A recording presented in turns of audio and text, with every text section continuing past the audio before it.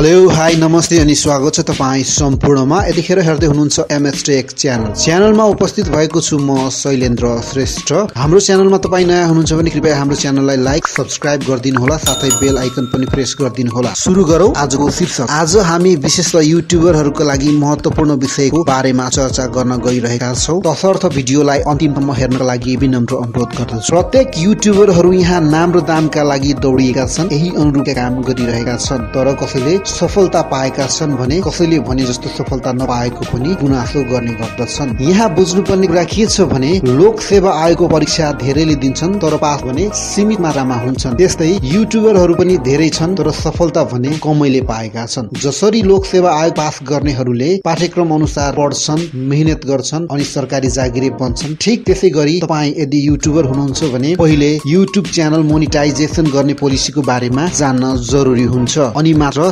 सफलता प्राप्त गर्न सकिन्छ र युट्युबबाट नाम र दाम दुवै कमाउन सकिन्छ। अब युट्युब पोलिसीमा के के छ त? जनवरी दुई हजार बिसको अपडेट अनुसार यदि तपाईँ युट्युबमा मोनिटाइजेसन गर्दै हुनुहुन्छ भने यो महत्वपूर्ण छ कि तपाईँको च्यानल युट्युब मोनिटाइजेसन नीतिहरू अनुसरण गरेको हुनुपर्दछ जसमा युट्युबको community guideline terms of service copyright र गुगल एडसेन्स प्रोग्राम पोलिसी समावेश रहेका हुन्छन्। यो पोलिसी युट्युब पार्टनर प्रोग्राममा तपाईँ हामी सबैले लागू गर्न खोज्छौ। युट्युबले च्यानल मोनिटाइजेसन नीतिहरू किन लागू गर्छ त? यदि तपाईँ विज्ञापनका साथै भिडियो मोनिटाइज गर्न चाहनुहुन्छ भने युट्युबले विज्ञापनदाता अनुकूल सामग्री दिशा निर्देश गर्ने कार्य गर्दछ। युट्युबले च्यानल रिभ्यू गर्दा के के कुरा चेक गर्ने गर्दछ? युट्युबमा रिभ्यू गर्ने व्यक्तिहरूले तपाईँको कन्टेन्ट चेक गर्ने गर्दछन्। जुन युट्युब पोलिसीको विरुद्ध तपाईँको च्यानललाई राम्रोसँग प्रतिनिधित्व गर्दछ। युट्युबमा रिभ्यू गर्ने व्यक्तिहरूले प्रत्येक भिडियो चेक जाँच गर्न सक्दैनन्। उनीहरूले तपाईँको च्यानलमा फोकस गर्न सक्नेछन्। युट्युबमा रिभ्यू गर्ने व्यक्तिहरूले तपाईँको मुख्य विषयवस्तु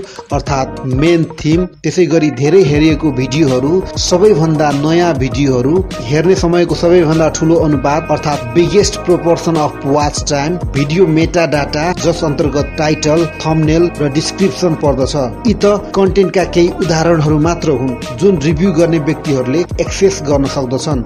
रिभ्यू गर्ने व्यक्तिहरूको मुडमा नि भर पर्दछ। उनीहरूले तपाईँको च्यानलको अन्य कुराहरू समेत जाँच गर्न सक्दछन्। यदि उनीहरूले चाहेको खण्डमा आजको यस भिडियो मार्फत तपाईँहरूले युट्युबको पोलिसी बुझ्नुभयो होला र यही अनुरूप काम गर्नुभयो भने पक्कै पनि सफलताले चुम्नेछ। तपाईँ सम्पूर्ण युट्युबरलाई धन्यवाद दिन चाहन्छु। आजको हाम्रो यो भिडियो कस्तो लाग्यो जस्तो लाग्यो त्यस्तै प्रतिक्रिया दिनुहोला। धन्यवाद। जय नेपाल।